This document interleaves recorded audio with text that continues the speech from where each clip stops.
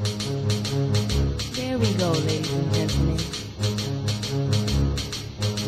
Past all of the technical difficulties that we have thus far experienced, I will let you into my laboratory filled with many things.